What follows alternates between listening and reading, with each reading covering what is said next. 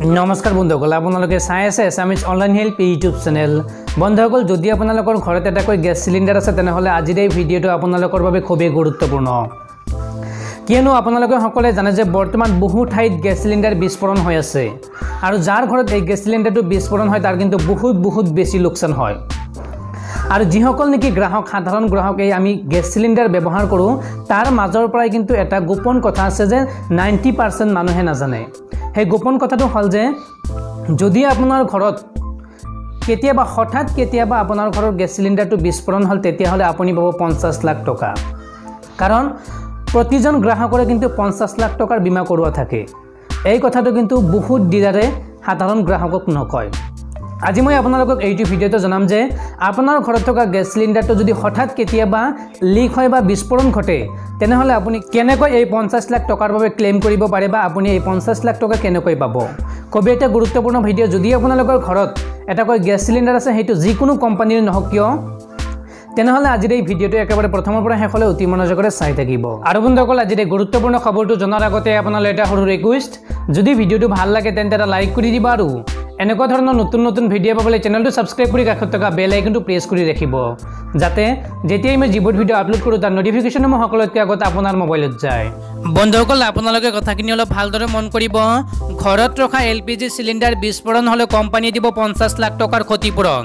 কিছুদিন পূৰ্বে উত্তৰ প্ৰদেশৰ প্ৰয়াগৰাজত এঘৰত ৰখা চিলিণ্ডাৰ বিস্ফোৰণৰ ফলত হোৱা ধোৱা লাগে। চিলিণ্ডাৰ বিস্ফোৰণৰ এক লাইভ ভিডিঅ' পৰৱৰ্তী সময়ত পোহৰলৈ আহে। এই ভিডিঅ' চাই ধাৰণা কৰিব পাৰি যে চিলিণ্ডাৰ বিস্ফোৰণ কিমান ভয়ংকৰ হ'ব পাৰে। হঠাৎ হোৱা এই বিস্ফোৰণৰ ফলত মানুহৰ যথেষ্ট লোকচান হয়। আমি জনা উচিত যে যদিহে এল পি জি চিলিণ্ডাৰ ফুটে বা দুৰ্ঘটনাৰ কাৰণ হয় তেনেহ'লে এজন উপভোক্তা হিচাপে আমি কি কৰিব লাগে? আমাৰ অধিকাৰ কি? চিলিণ্ডাৰ লিকেজ বা বিস্ফোৰণৰ দায়িত্ব ডিলাৰ আৰু কোম্পানীৰ। যদি চিলিণ্ডাৰৰ লিকেজ বা বিস্ফোৰণ হয় তেনেহ'লে দায়িত্ব ডিলাৰ আৰু কোম্পানীৰ। ষোল্ল বছৰ পূৰ্বে হোৱা এক দুৰ্ঘটনাৰ ৰায়দান দি উপভোক্তা আদালতে দিয়া নিৰ্দেশ এতিয়াও বলবৎ হৈ আছে। নেশ্যনেল কনজিউমাৰ ফৰামে নিজৰ সিদ্ধান্তত কৈছিল যে মাৰ্কেটিং ডিচিপ্লিন গাইডলাইনছ দুহেজাৰ চৈধ্য ফৰ এল পি জি ডিষ্ট্ৰিবিউশ্যনৰ অধীনত ডিলাৰে ডিফেক্টিভ চিলিণ্ডাৰ ছাপ্লাই দিলে ইয়াৰ দায়িত্ব অভিযোগকাৰীলৈ ঠেলিব নোৱাৰে। গাইডলাইনছৰ মতে ডিলাৰে ডেলিভাৰীৰ পূৰ্বে চেক কৰিব লাগে যে চিলিণ্ডাৰ ঠিক আছেনে নাই। প্ৰতিটো এল পি জি চিলিণ্ডাৰৰ ওপৰত থাকে পঞ্চাছ লাখ টকাৰ বীমা। কেনেকৈ ক্লেইম কৰিব লাগিব চাওক H T T P double colon double slash my L P G dot ইনৰ মতে যদি কোনো ব্যক্তিয়ে এল পি জি কানেকশ্যন লৈছে আৰু তেওঁ লাভ কৰা চিলিণ্ডাৰৰ পৰা ঘৰত কোনো ধৰণৰ দুৰ্ঘটনা হৈছে তেনেহ'লে ব্যক্তিজনে পঞ্চাছ লাখ টকা পৰ্যন্ত ক্ষতিপূৰণ লাভ কৰিব পাৰে। এটা দুৰ্ঘটনাত সৰ্বোচ্চ পঞ্চাছ লাখ টকা পৰ্যন্ত ক্ষতিপূৰণ লাভ কৰিব পাৰে। দুৰ্ঘটনাৰ ভুক্তভোগী প্ৰত্যেক ব্যক্তিয়ে সৰ্বাধিক দহ লাখ টকাৰ ক্ষতিপূৰণ লাভ কৰিব পাৰে। এল পি জি চিলিণ্ডাৰৰ বীমা কভাৰ পাবলৈ গ্ৰাহকে দুৰ্ঘটনাৰ খবৰ নিকটৱৰ্তী আৰক্ষী থানা আৰু নিজৰ বিতৰকক প্ৰদান কৰিব লাগিব।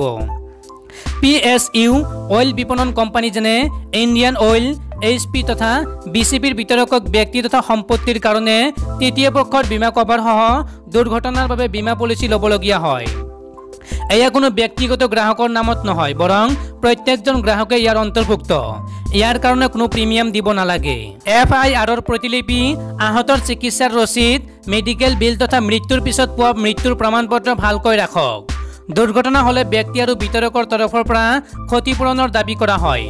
দাবী কৰা ধনৰাশি বীমা কোম্পানী সম্বন্ধীয় বিতৰকৰ কাষত জমা কৰোৱা হয়। আৰু ইয়াৰ পৰা এই ধন গ্ৰাহকক প্ৰদান কৰা হয়। গেছ চিলিণ্ডাৰ বিস্ফোৰণ হ'লে সৰ্বপ্ৰথম আৰক্ষী থানাত ৰিপৰ্ট দাখিল কৰিব লাগে। ইয়াৰ পিছতে সংশ্লিষ্ট এৰিয়া অফিচে তদন্ত কৰে যে দুৰ্ঘটনাৰ কাৰণ কি। যদি দুৰ্ঘটনা এল পি জিৰ কাৰণে হয় তেনেহ'লে L P G distributor agency বা এৰিয়া অফিচে বীমা কোম্পানীৰ স্থানীয় অফিচক এই সন্দৰ্ভত অৱগত কৰিব। ইয়াৰ পিছত সংশ্লিষ্ট বীমা কোম্পানীয়ে ক্লেইম ফাইল কৰিব লাগিব। গ্ৰাহকে বীমা কোম্পানীত পোনে পোনে ক্লেইমৰ কাৰণে আবেদন কৰিব নালাগে।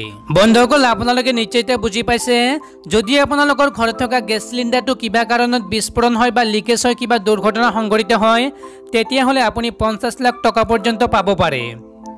তাৰ কাৰণে আপুনি প্ৰথমতে আপোনাৰ ওচৰৰ আৰক্ষী থানাত এখন এজাহাৰ দাখিল কৰিব লাগিব বা আপুনি আৰক্ষী থানাত জনাব লাগিব। তাৰপিছত আপুনি যিটো এজেঞ্চিৰ পৰা এই গেছ চিলিণ্ডাৰটো লৈ আনে বা ৰিফিলিং কৰে সেইটো এজেঞ্চিত আপুনি যোগাযোগ কৰিব লাগিব।